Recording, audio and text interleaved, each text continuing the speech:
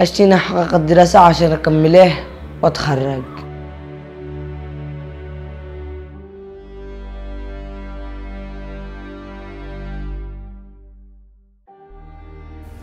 طالب لازم يدرس عشان ينفع نفسه ويتخرج. مستقبله يعني. النهاية هو بيستنفع ونحن بنستنفع معه. التعليم حق أساسي لكل فرد. يرتقي بالإنسان. التعليم هو أساس الحياة.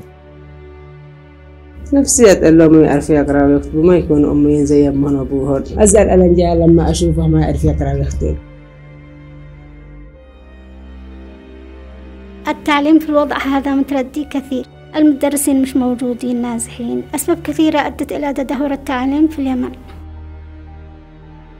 كان من أول الطالب مجتهد وكان تمام يعني كان في تدريس. الآن كله مخارجة. يعني.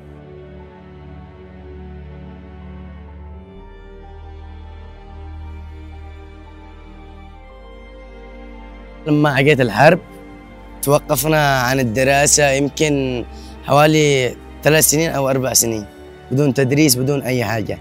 ولما هدأ الحرب رجعوا يعني ثلاثة مدرسين أربعة مدرسين بدأوا بالتدريس ومشي الحال إلى الوضع هذا.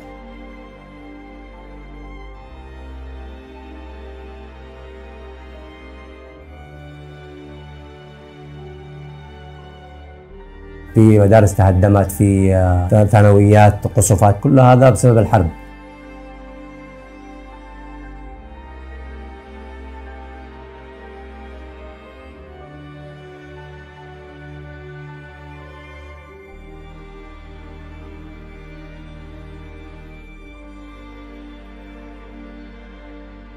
حتى الآن النزاعات اللي صوت أتت على المدارس نفسها في بعض المدارس تخربت في بعض المدارس نهبت في بعض المدارس آه، دخلوا فيها نازحين.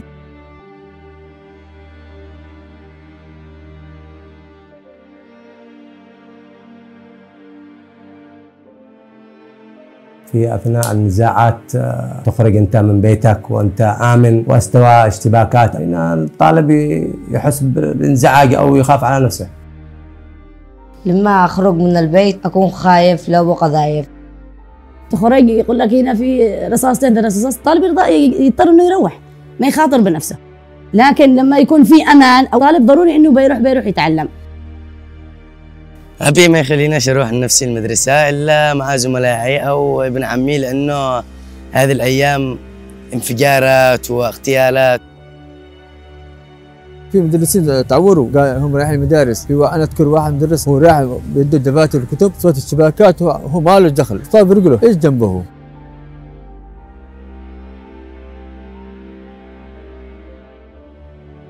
الطالب أصبح مشتت من ناحية الحروب هذه والرصاص يعني تخرج من بيتك. تسمع كل واحد يضرب عشوائي.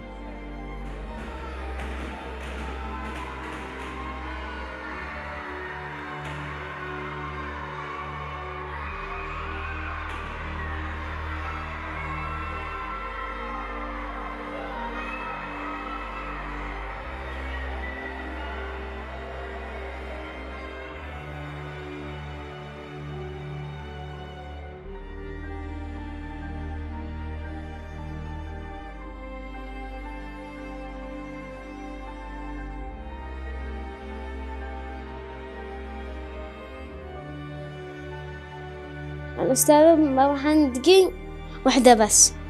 وتروح ما أد... وما تقيش عاد. لما الأصل يفتحوها ونروح يقفلوا الفصل.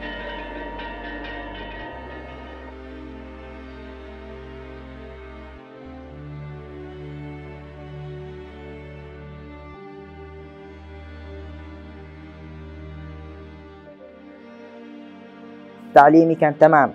كان يفهمك لسه تمام. أما دحين يدخل الفصل يعمل لك بس تك تك وخارج بدون ما يشرح لك بدون ما يعمل لك أي شيء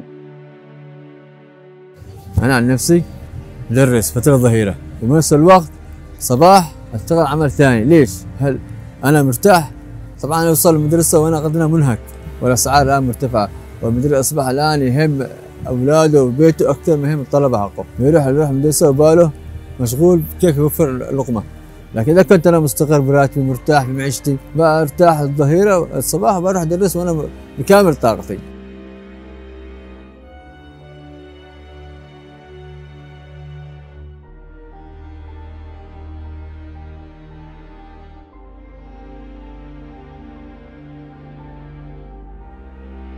الكتب مع بشر. كنت أروح أقول لهم جيبوا لهم كتب ولا يجيبوا لهم شيء. يستلفون من البنات ومن الجيران ولا أختهم تكون حافظة لأنها درست وت...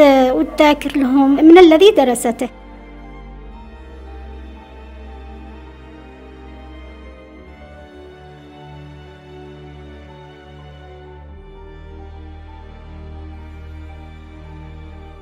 كتب وكل فصل مليون كتب.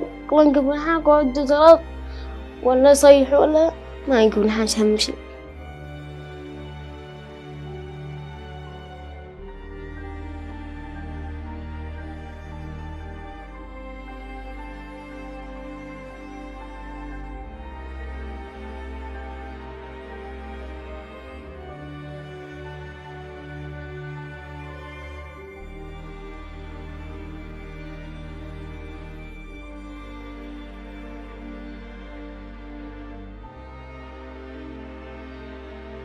الأبناء يطالبوا منا أن إحنا نشتري لهم الكتب المدرسية وهي موجودة بالسوق.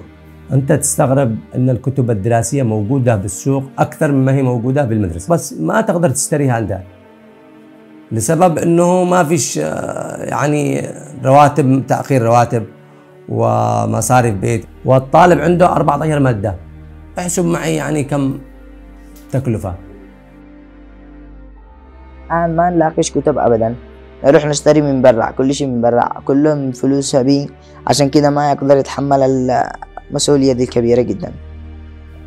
أنا فكرت من بعض الأحيان إن أنا أبقى إن أنا أروح, أروح من المدرسة وأروح أشتغل عشان أبي أصرف على العائلة وأساعده.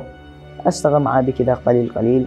أبودي باليوم كده 500 هذيك ال 500 اتخرت اتخرت اتخرت أفضل أعيش بالحديدة لأنه في أصدقاء وفي أصدقاء بس ما في الشغل لبي هي دي المشكلة. ما بالشغل لبي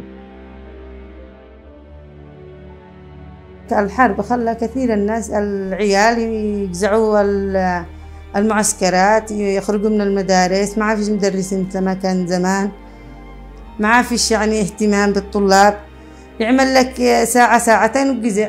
ودرس درس اللي يشتي دخل يدرس دخل واللي ما يشتيش حر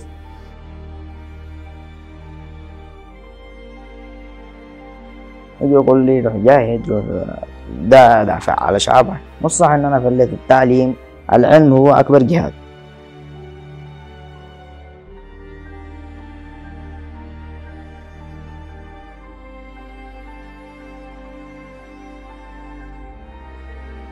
كانت المعنية بالنسبة للطالب مقصرة بشكل أساسي. أعطيك مثال لما يجي طالب معه إحضار جهة أمنية إنه كان في جبهة كذا. أنا هذا طالب. طالب هل معه بطاقة شخصية أو إنه معه سن قانوني إنه يتعسكر؟ لما يجي وقت الامتحانات أو وقت الدراسة معي تفريغ إن أنا عسكري في جهة كذا. كيف عسكري وبنفس الوقت طالب؟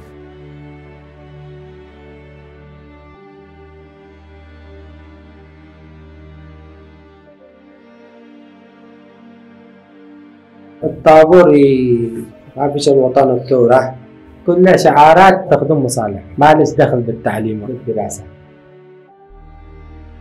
الحروب هذه والنزاعات هي سبب هذه المشاكل كلها. لو وقفت النزاعات هذه التعليم بيرتقي إلى الأفضل يعني الطالب بيروح إلى مدرسته المدرس بيروح إلى المدرسة التعليم بيستمر إن شاء الله. لو كان التعليم حلو وكانوا الناس متعلمين فاتهم ما يتحاربوا ابدا لو كان التعليم تمام كل شيء تمام.